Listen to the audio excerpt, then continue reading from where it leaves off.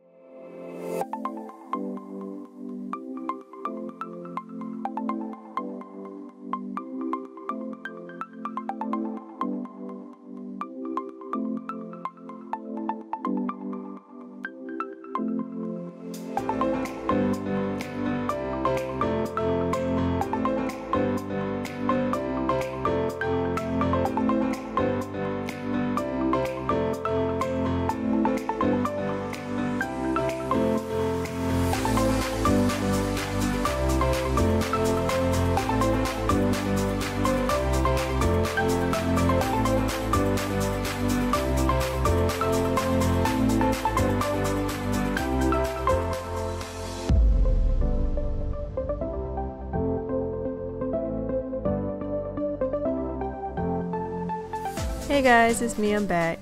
A quick little life hack to minimizing the effects of negativity in your life. Start your day off with positivity and end your day off with positivity by simply making a list of three things that you're grateful for every morning and every night. See you guys soon. Bye.